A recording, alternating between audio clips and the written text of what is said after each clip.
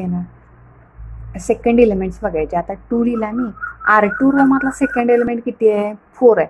तो मी इथं लिहिला. फोर प्लस आर वन रोमधला सेकंड एलिमेंट किती आहे? टू लक्ष येते का बघा? आर वन रोमधला सेकंड एलिमेंट आहे टू तो मी इथं लिहिला. मग इज इक्वल टू काय येणार बघा? फोर इंटू टू एट आणि प्लस टू म्हणजेच किती आलं? Eight plus two is equal to किती येणार आहे? टेन आता दोन्हीही रोमधले आपण सेकंड सेकंड सेकंड एलिमेंट्स घेतले. त्यामुळे तो जी ॲडिशन आली ती सेकंड एलिमेंटच्या ठिकाणी लिहायची म्हणजे सेवन आणि टेन हा नवीन मॅट्रिक्समधला आपल्याला चेंज मिळाला. हां? तर आपण तीन पॉईंट बघितले. पहिला जो बघितला त्याच्यामध्ये काय होतं? इंटरचेंज होता.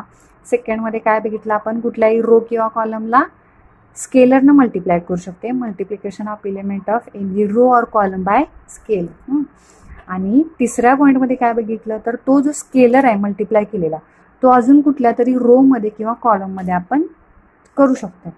आता हे जे बघितलं आपण ते फक्त रोचं एक्झाम्पल बघितले. सेम असं कॉलममध्ये पण चेंज करू शकतो. हां?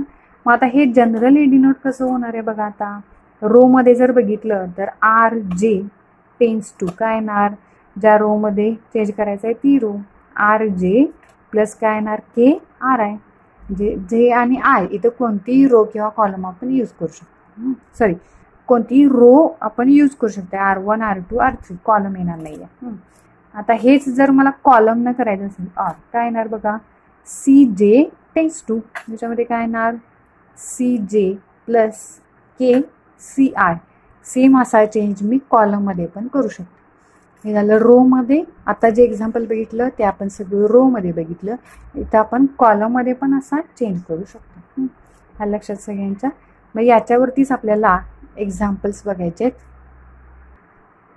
एक्झरसाइज दिलेलं आहे टू पॉईंट वन आता एक्झरसाइजमध्ये क्वेश्चन काय सांगितलं आहे बघा जनरली एकच क्वेश्चन दिला आहे apply the given elementary transformation on each of the following matrices question बघा लक्षात येते का? Apply apply the given transformations on each of the following matrices मग क्वेश्चन जे काय ट्रान्सफॉर्मेशन दिलेलं असेल ते प्रत्येक मॅट्रिक्सवरती आपण करणार आहे. आता फर्स्ट एक्झाम्पल बघूया आपण. फर्स्ट एक्झाम्पलमध्ये काय सांगितलं बघा.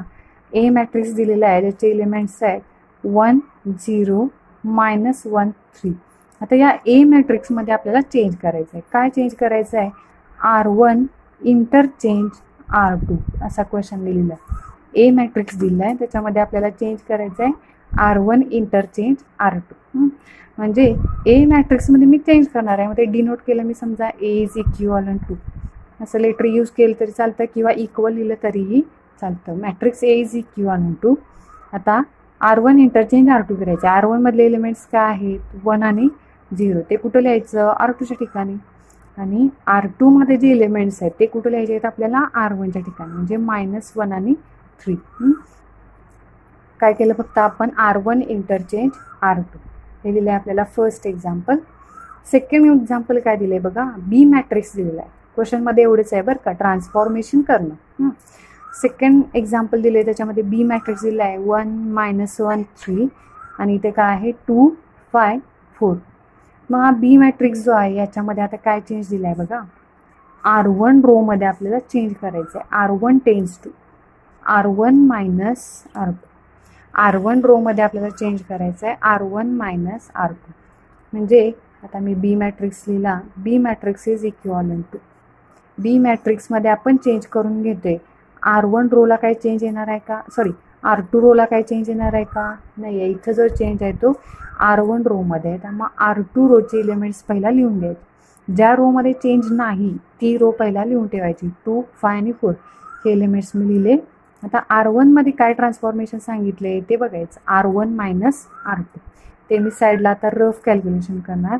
R one minus R two is equal मग आर वनमधला पहिला एलिमेंट घ्यायचा आणि आर टूमधला पण पहिला एलिमेंट घ्यायचा. आता हे पहिले पहिले एलिमेंट्स घ्यायचे आर वनमधला पहिला एलिमेंट आहे वन मायनस आर टूमधला पहिला एलिमेंट किती आहे?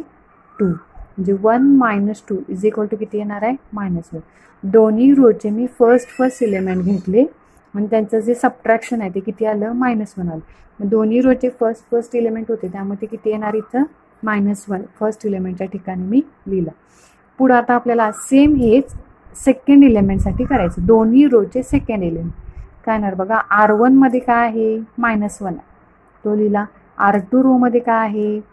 फाय मायनस साईन देऊन मी फाईव्ह म्हणजे मायनस वन मायनस फाईव्ह किती येणार आहे? Minus one minus five minus six येईल. ते आता मायनस सिक्स मी कुठं लिहिणार? तर सेकंड इलिमेंट घेतले ना दोन्ही रोचे तर सेकंड पोझिशनला ते लिहायचं. आणि लास्ट राहिला आता थर्ड थर्ड इलेमेंट्स राहील. आर वन रोमध्ये किती आहे? थ्री आहे. आर टू रोमध्ये किती आहे? फोर आहे. R one minus R two. R वनमधला three लिहिला मायनस आर टूमध्ये किती आहे? फोर थ्री मायनस फोर किती येणार आहे? मायनस वन येणार तो मायनस वन मी इथे लिहिला. हा काय चेंज केला आपण? R one change R one रोमध्ये change केला. R one minus R two. आता थर्ड एक्झाम्पल बघा आपण. थर्ड एक्झाम्पलला काय सांगते बघा? ए मॅट्रिक्स दिलेला आहे. ज्याचे एलिमेंट्स आहेत five four one three change काय करायचं आहे आपल्याला? C one interchange C two अजून काय सांगितले बघा इथं पुढं? बी मॅट्रिक्स दिला आहे थ्री वन फोर फाय ज्याच्यामध्ये चेंज करायचं आहे R one interchange R two म्हणजे पहिल्या मॅट्रिक्सला कॉलम इंटरचेंज करायचे आहेत आणि दुसऱ्या मॅट्रिक्सला काय इंटरचेंज करायचं आहे रो इंटरचेंज करायचं मग पुढं अजून क्वेश्चन सांगितलं आहे बरं का. काय सांगितले बघा? What do you observe what do you observe म्हणजे याच्यावरनं काय दिसते ते बघायचं आता. What do you observe A मॅट्रिक्समधले पहिला आपण चेंज करा ए इज इक्युअल टू काय करायचं आहे C one interchange C two C one interchange C two म्हणजे हा काय आहे? सी वन कॉलम आहे. तो कुठे लिहावा लागेल आपल्याला? सी टूच्या ठिकाणी. सी वन कुठं लिहिणार मी? सी टूच्या ठिकाणी. फाय आणि वन सी टूच्या ठिकाणी लिहिला. सी वनमध्ये सी वन लिहिला सी टूच्या ठिकाणी. आता सी टूचे एलिमेंट काय आहेत? फोर आणि थ्री ते लिहायचे सी वनच्या ठिकाणी. हां? हा झाला ए मॅट्रिक्स आता बी मॅट्रिक्सचा चेंज लिहूया आपण. बी मॅट्रिक्समध्ये काय चेंज सांगितलं आहे R one interchange R R वनमध्ये किती आहे? थ्री वन आहे. ते कुठं लिहायचं? आर्कच्या ठिकाणी. थ्री वन मी इथं लिहिलं. आर टूच्या ठिकाणी थ्री वन लिहिलं. आता आर टूमध्ये किती आहे? फोर आणि फाईव्ह ते कुठं लिहायचं? आर वनच्या ठिकाणी लिहिलं. फोर आणि फाईव्ह मग हे ट्रान्सफॉर्मेशन केल्यानंतर व्हॉट डू यू ऑब्झर्व म्हटलेलं आहे? म्हणजे याच्यावरून आपल्याला काय दिसते हे पण सांगायचं. व्हॉट डू यू ऑब्झर्व काय दिसते बघा A matrix four five three one B matrix four five three म्हणजे बोथ मॅट्रिक्स काय झाले? इक्वल मिळाले. म्हणजे matrix A is equal to matrix B मिळाले. ठीक आहे? राहिलेली